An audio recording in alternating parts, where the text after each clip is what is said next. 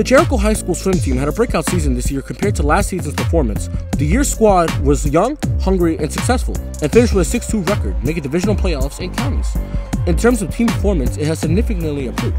Prior to the 2022 season, the Jayhawks only had only had losing seasons. Last year, the Jayhawks started their last season in the standings with a 2 5 record. Co-captain diver and junior Rachel Yang was thrilled with the team's work this year. It was really good. They did really well.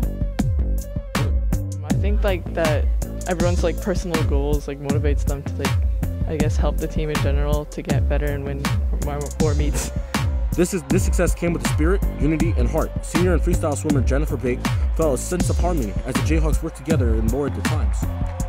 Um, I think it went really well. We were in conference three last year and we moved up um, a conference. We were seated second in the conference, and most of our girls either broke their personal best swims or swam season best swims, and it was a really good season all around. Diving also, also has improved tremendously this season with records broken all over the board. Rachel Yang broke her own school record for diving by scoring 310.87 to become the fourth diver in Nassau County to break 300 points in a six diver meet. I felt really proud. I just did really well, and I didn't really care about the place at that time. After counties, Rachel Yang went on to break the new state record at the state level.